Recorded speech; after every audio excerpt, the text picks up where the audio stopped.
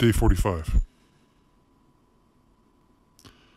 My son and I, we went to uh, see Jordan Peterson at a local venue. He's on. He's promoting his book, The 12, 12 uh, Rules for Life. I haven't looked up the 12 Rules for Life yet, but I will. um, the show was interesting in as much as, you know, he basically came out and gave a lecture, and his idea was to cover all 12 rules, but he only got to the first five. And that, I think, comes down to preparation. I, I don't think he was as prepared as he should have been for the show. But hey, if you can fill an auditorium with everybody paying 50 bucks a head and just talk about your book, which means they're not only going to buy it, but buy tickets, it's a good gig. Um, the rise of Jordan Peterson just basically comes down to the fact that um, he's looking at, uh, he's more or less saying that a lot of the crap in our world right now, political correctness and gender designations, and it's a lot of crap because it's, you can't have a society where everybody's all right. They have to have a society that has a hierarchy and uh, and it's not fair. But life's not supposed to be fair. Life's supposed to be what you earn. The situation I'm having with my girl is not fair. But it's what I deserve. If I was a rock star, if I was worth a lot more money, who knows? Maybe she'd still be here. Maybe at a bigger house, who knows? Maybe she'd still be here. Maybe my attitude was better, stronger. Maybe she'd still be here. These are things I don't know. I have a hunch that if some of those things are true, that is very much so would be the case. Because women don't love a man for just because we're men. They love us because what we bring to the table. Love is not free. Love has a cost. If you want to have a beautiful woman in your life, you have to be what she wants. She's not for the you know, I was driving down the road today and I saw some schlub walking on the other on the wrong side of the road. He had some work clothes on, whatever. He probably was hundred pounds overweight. And I thought to myself, there's a guy who's never going to get some decent pussy in his entire life. Because life isn't fair he can work hard and do everything he wants, but his depiction, his look, is not going to attract women. No one is going to be interested in him.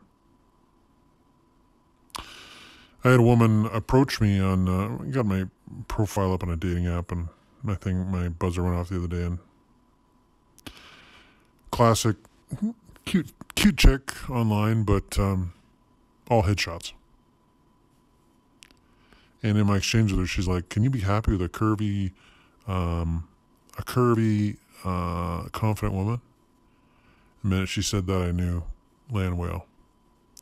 And a little did a little work, did a little recon, and sure as shit, that's the deal. And that's you see in our society. There's a a lot of women who are like, "I'm a confident, curvy woman." Great, you be confident and curvy, but you're not going to get the kind of man you want you know, these women think they can, you know, talk to guys and get, you know, get the get the man they want, but the man they want does not want them because he can do better.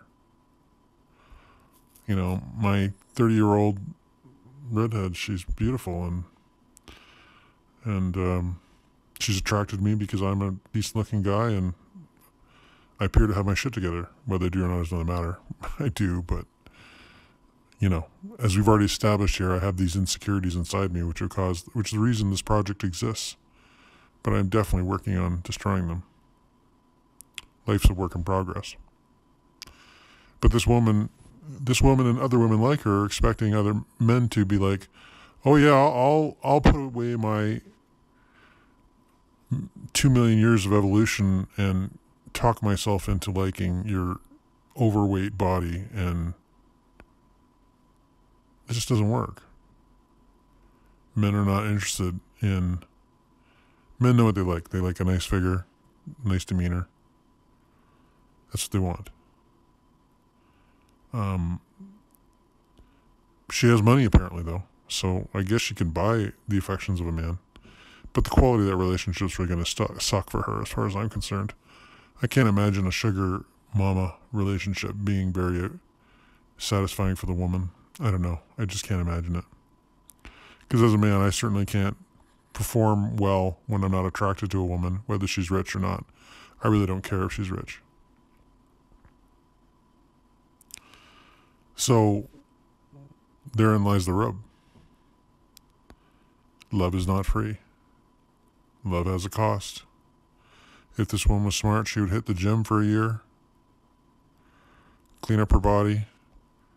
Her teeth a little crooked too, so she spent some money on that.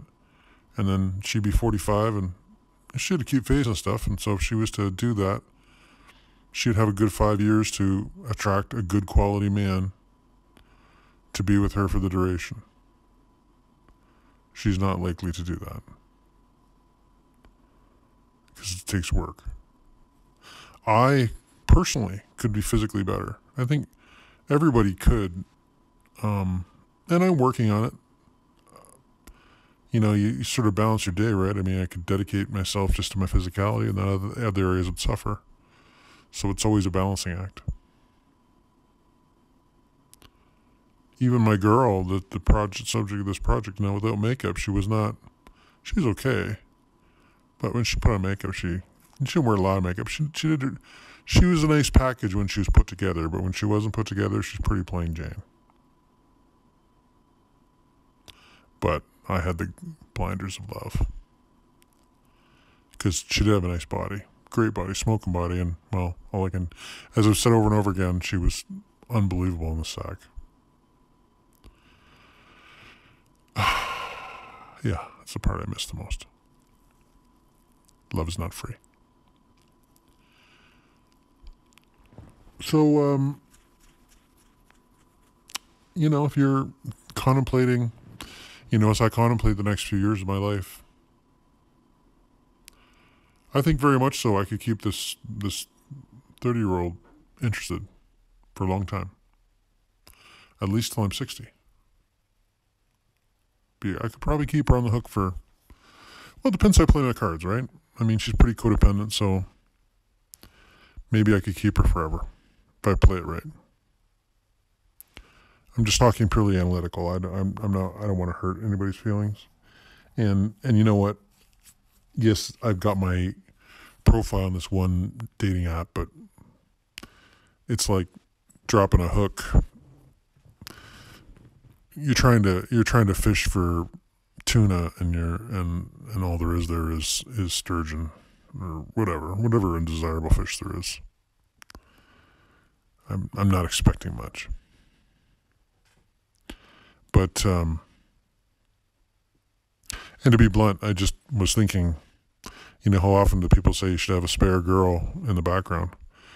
It's a terrible thing to think about, but if I had, had if I had had a spare girl in the background, my behavior with my other girl would have been radically different. I fucking hate that the world has descended into this.